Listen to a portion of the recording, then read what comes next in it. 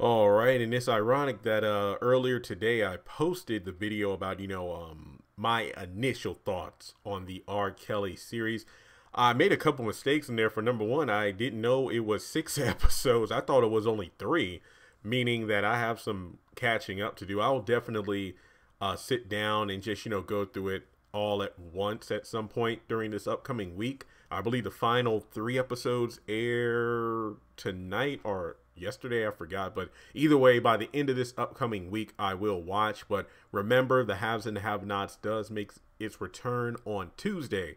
So obviously, if I don't watch the R. Kelly thing before Tuesday, I probably won't get to it until maybe Wednesday because you know I gotta do my episode review, trailer breakdown for the next Tuesday, and all that good stuff. Especially if we get any theories um, that I can talk about within the episode. So just be aware of that. But I I don't know if I could say I'm surprised by this, but I just read a report that um, R. Kelly's music spiked by like 16% on Spotify ever since the Surviving R. Kelly um, docu series came out uh, a couple days ago on Lifetime. Wow, I mean, I'm not surprised by the spike in numbers, but obviously people online are like, "Man, this is ridiculous. How can you support um, this person? You know, uh, taking advantage of these young girls and whatnot." I'm not saying who's right and who's wrong on that statement. What I'm saying is, it doesn't surprise me that the music spiked and not just because oh yeah you know what? They're just trying to take down a black man so i'm just going to go and listen to this music i support. I want to be blasting ignition. That's not really what i'm saying. I'm saying that watching the what did yeah i've watched the first one and a half one and a half of the episodes and some of the music is like you know you find out the reasoning the true meaning behind the lyrics of certain songs and for people who have, you know, like me, who grew up listening to the music, remember I was born in 91. So um, during the time, Ignition, Step in the Name of Love, I was only like maybe 10 or 11. Uh, of course, not even knowing this happened while the trial was going on. Like those, those hits came out while the trial was going on. I ain't know, I ain't know none of that stuff. So growing up on the music and knowing almost every song by heart, watching this docu ser- series, finding out the true meaning of stuff, you go back and try to catch if you actually, oh, what? In in in verse three, he actually was saying about so and so. That's a natural thing to do. Now, again, I'm not making this video to say, oh, you should go listen, or if you listen, you're wrong. I'm just saying what the natural reaction of curiosity would be. Because, for example, I think I said this in another video um, Rebecca Black song Friday. I remember when that came out, one of the worst songs in history.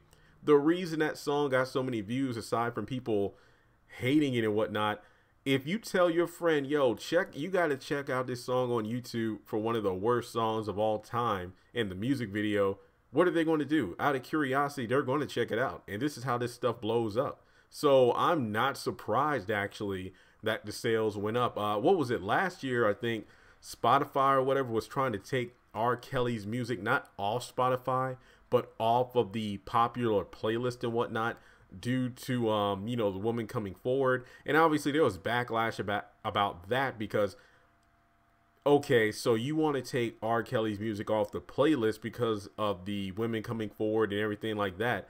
But on your hot playlist, you have all these songs that are literally talking about, you know, effing women and stuff like that yet you're promoting that, but you're going to take off the music of R. Kelly because of these charges. Now, once again, I'm not taking sides here, but I'm just saying that it's very hypocritical there.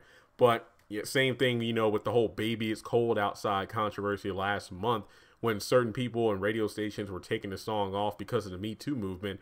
So you're going to take off a classic Christmas song, but then you're just like, okay, we're going to take this song off because of the Me Too movement, but here we're going to play this Cardi B song about, you know, check out my ass or whatever. It's, you see what I mean? There is ridiculous. So, am I surprised by the surge in R. Kelly music revenue? Not really. I mean, there are people who are going to support him no matter what. And I, I will admit, the people who support R. Kelly and say that, man, leave him alone and stuff like that, no matter what, you got the video evidence of him peeing on a girl. You have all these women coming forward now. And all these people from behind his team and whatnot who actually admit this is this is like uh, I see why people are like, you know, how is Bill Cosby behind bars, but R. Kelly isn't. I mean, uh, most people make the argument about consent and these women telling the age and what yada yada yada, but it's just that unlike the Bill Cosby, at least you know from what I know. And again, I don't know everything in regards to this stuff. I'm pretty sure there are people who follow these cases fact by fact, news report by news report it seems to me that the evidence is definitely stacked up against R. Kelly like it was during the trial, yet he's still walking free. Whereas Bill Cosby, you only, for the most part, take women by their word. True, you have people from like the different sets he was on, and people who all of a sudden now talk about, you know, you know, I, I knew about this young girl, that young girl, or I just felt like a dark energy when I was on the set. But when it comes to R. Kelly, you know, these people literally say, like, yeah, you know, we would go pick up these girls and whatnot. Then these parents would talk about, you know, oh, we our daughter wants to be a star, or you know, people letting their younger female relatives or daughters hang around the studio and whatnot. I don't know, guys. It's, it's really crazy. So it, it's like you know the white or just Trump supporters in general who support him no matter what, despite all the you know grab him by the you know whats and the locker room talk and all this stuff that's piled up against him. He's still in the White House. And then you have, um, well, for the most part, you know, black people, R. Kelly is like, you know, man, let the, it is, it's like a damned if you do, damned if you don't situation. So what I, what I'm not trying to do on this channel or in this video is to tell you whether or not to support R. Kelly. That's not my call to make. You have the ability to choose what you do, what listen to the music, don't listen to the music. Um, I don't care. I mean, obviously, it's not up to me. Everybody has their own choice. It definitely is a right, and like I said in my initial thoughts video, I think it's really messed up that um the people within the circle that let this stuff happen, you know, like all because they didn't want to uh, mess up their jobs. It's just like wh- when does human morality come in here? But like I said, you know, um you you can own, you can make your own call. And like I said, uh, I will try to watch the entire series before the end of this upcoming week.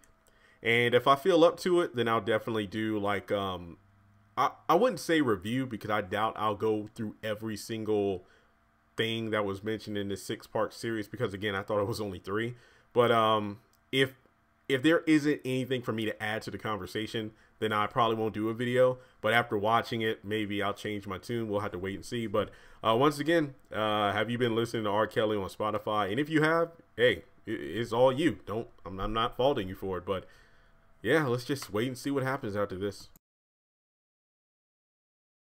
Congratulations on making it to the end of this video. If you like what you saw, be sure to hit that thumbs up button as well as leaving your thoughts in the comment section below so we can keep the conversation going. On the left hand side of the screen, you should see a picture of Jeffrey Harrington. You can click on him in order to subscribe, but also hit the bell notification icon. That way you don't miss out on any new content.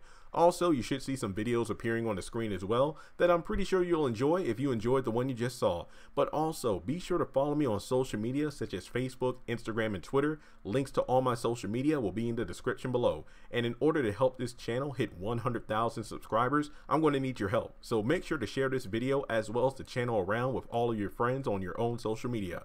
But once again, thanks so much for tuning in, and I'll catch you all in the next video.